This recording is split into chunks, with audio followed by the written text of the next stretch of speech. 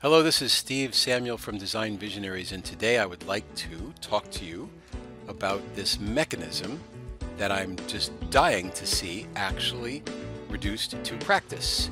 And that is a mechanism that when you are rowing a boat, when you row forward, you actually face forward. So, in the conventional rowboats, when you're rowing, you're always facing backwards, and as you pull, the oar goes forward, so it propels you backward, right? This way. But with this little mechanism, what happens is when you pull backwards, the oar moves in the opposite direction. So we have this little linkage that we've designed, and in the next little while we'll be building it.